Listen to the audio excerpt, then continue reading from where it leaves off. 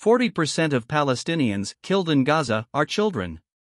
More than 40% of the Palestinians killed in Gaza are children as the child death toll climbs to 3,457, according to the Ministry of Health. Israeli forces have killed 3,457 Palestinian children in Gaza, representing more than 40% of the total death toll, according to the Palestinian Ministry of Health in Gaza, in three weeks since the Israeli military unleashed a massive military offensive on the Gaza Strip on October 7. The fatality and injury numbers provided by the Ministry of Health in Gaza only account for people admitted to hospitals, and an estimated 1,050 Palestinian children are reported missing under the rubble of destroyed buildings, indicating the actual death toll is much higher. The number of Palestinian children killed in Gaza in the last three weeks has exceeded the annual number of children killed across the world's conflict zones since 2019, according to Save the Children. At least 8,306 Palestinians have been killed in Gaza since the Israeli military bombardment began on October 7, according to the Ministry of Health in Gaza. The total death toll in Gaza is surpassing that of the Srebrenica massacre in Bosnia and Herzegovina in 1995, when the Bosnian Serb military killed around 8,000 Muslim men and teenagers. While some connectivity has been restored in southern Gaza, many Palestinians in Gaza are experiencing a total blackout of internet and telecommunications since Israeli forces intensified airstrikes and began a ground invasion of northern Gaza on October 27.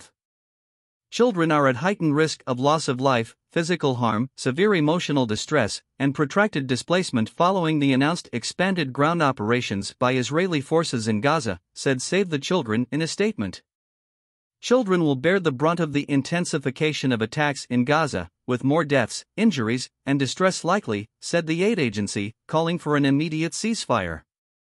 The United Nations General Assembly approved a non binding resolution on October 27 calling for a humanitarian truce in Gaza, leading to a cessation of hostilities, the first United Nations response to the active hostilities.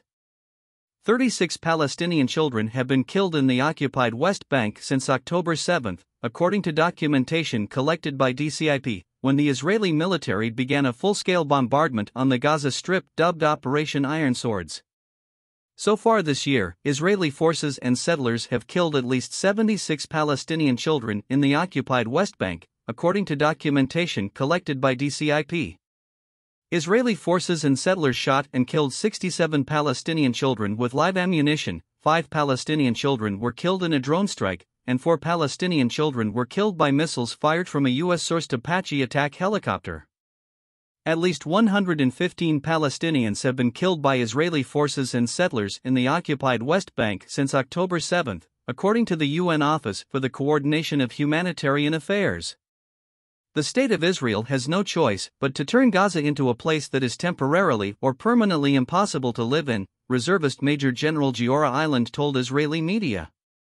Creating a severe humanitarian crisis in Gaza is a necessary means to achieve the goal. Gaza will become a place where no human being can exist. Human animals must be treated as such. There will be no electricity and no water in Gaza, there will only be destruction. You wanted hell, you will get hell, said Major General Ghassan Alian, head of coordination of government activities in the territories, COGAT. Under international law, genocide is prohibited and constitutes the deliberate killing of a large number of people from a particular nation or ethnic group with the aim of destroying that nation or group, in whole or in part.